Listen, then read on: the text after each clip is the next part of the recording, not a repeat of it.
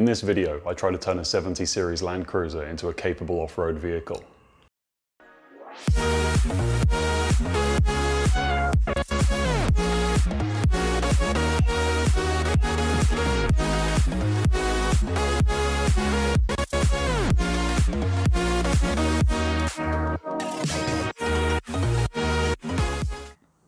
So as you may already know, 70 series Land Cruisers are renowned for being horrendously tippy off-roaders with zero flex.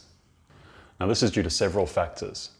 So the factory sway bars have a girth any man would be proud of, so the first course of action is removing those. The problem this solves is allowing the wheels to move independently of one another, meaning tipping is reduced and traction in wombat holes and uneven terrain is greatly increased. The other issue we're going to address today is the ground clearance at the rear of the vehicle. Now there have been a few situations where I've got caught out.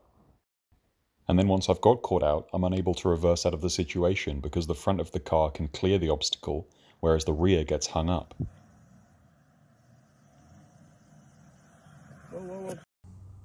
Now this is going to be a relatively brief video, simply because I'm going on a trip in the next few days and I want to give myself the best chance I can.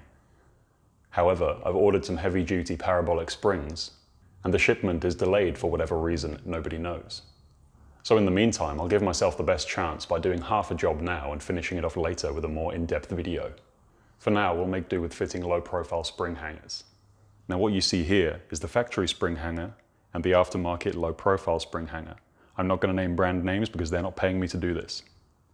And even if they were, I wouldn't let them because I think it's an overpriced product for what it is. Starting with the factory hanger,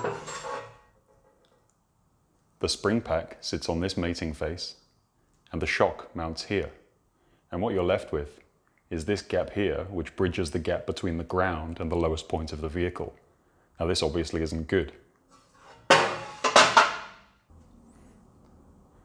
With the aftermarket product, the spring sits in this recess here, meaning that the lowest point of the surface is only about 10 millimeters lower than the spring itself.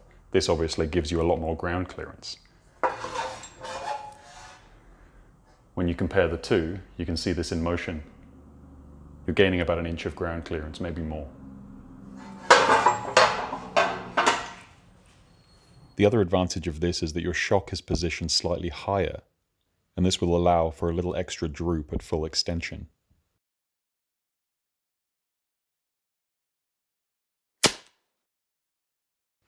Now as soon as I've lifted the car, I've noticed another restriction. These twin bellows airbags are preventing the leaf springs from fully extending, and thus also limiting flex. Now seeing as I don't really need airbags, and I don't do much towing at all, and never anything heavy, I've decided to get rid of them. And this allows me to use the airlines for much more useful purposes.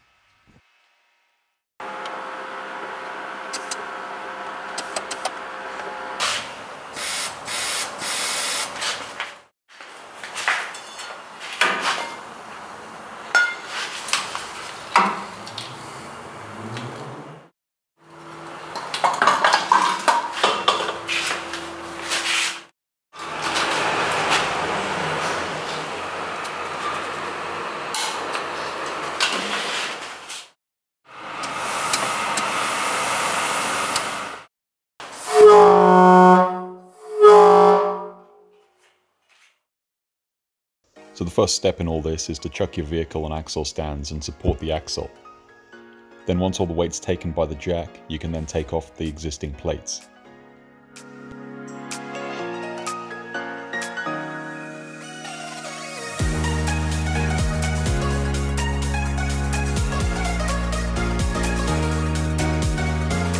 Once you've taken the plate off, you have to cut off the leaf spring bolt so that it's flush with the nut.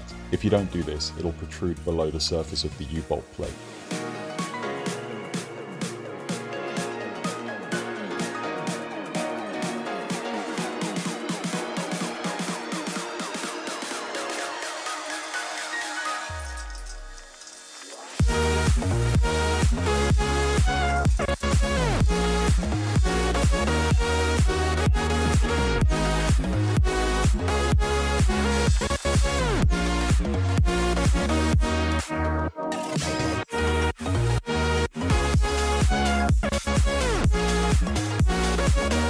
U-bolts themselves are not a one-size-fits-all, you have to cut them to the length suitable for your spring pack.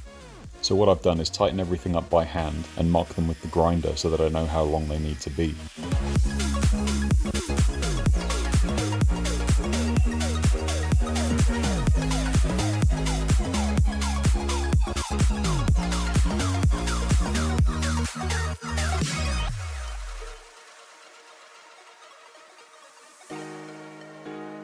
After this, I cut them down to size and then tidy up the threads on the bench grinder.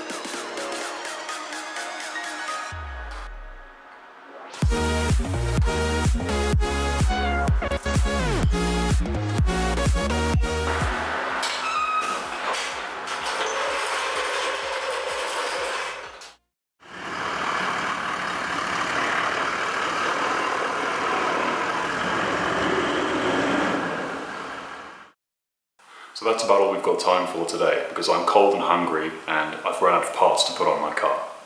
Hopefully today's efforts have improved my chances of making it through Monkey Gum and once the Australian Postal Service gets its act together then there'll hopefully be some further improvements. But until then, I'll pack my stuff and hope nothing breaks in the meantime.